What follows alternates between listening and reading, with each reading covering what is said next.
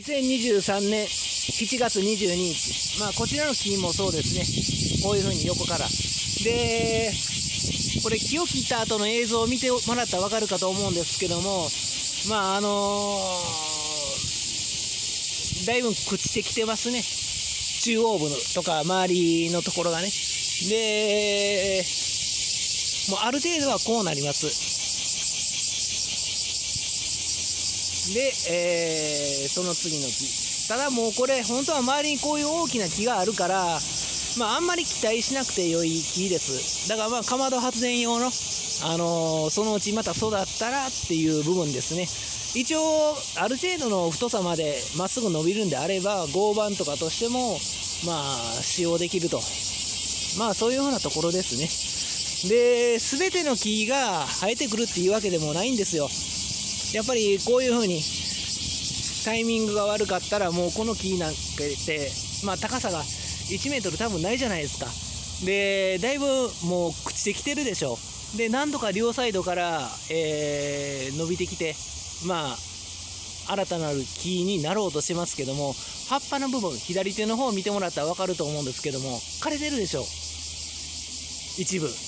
だもうギリギリ限界いっぱいいっぱいのところでしょうね。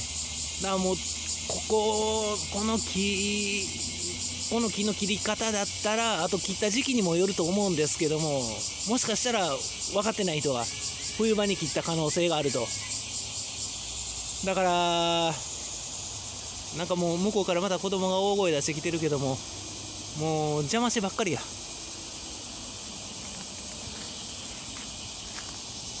子供はあの人に関わったらあかんっていうことを各地域でしっかり伝えないと。邪魔してばっかり子供。でここも横からわずかに今生えてきてるところですね。ああもう。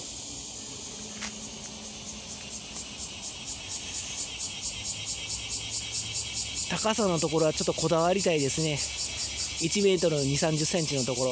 で正直これぐらいの太さとかまあ確かに斧だったら100回も振り下ろさなくてもそれはもう簡単に伐採できると思いますよ。だけどもまあノコギリとかああいったものでそうですね。まあこの木の密集具合だったらもうはっきりでもこれだけ木が密集したらもう限界なんですよ。この木なんかもう結構ボロボロでしょ。真ん中の木。がこうなってきて中が空洞化するんですよ。でいつ倒れてきてもおかしくないちょっとした風で。もうそういう風な形になってきます。だからもうある程度間伐を取り入れていくしかないんですよ。木々の間をある程度こういう風に開けていくと。で正直あれぐらいの距離でもこの真ん中の木がどれぐらいの太さまで育つかはっきり言ってわからないですね。周りのこういう風な木が葉っぱこれだけ生い茂ってるから日光はある程度今のところ当たってますよ。今のところ当たってますけどももっと大きくなってきた時に歯と歯が重なるでしょう。どう考えても無理なんですよ。ある程度距離空けなかったら10メートルぐらい太い木を育てようと思ったらね。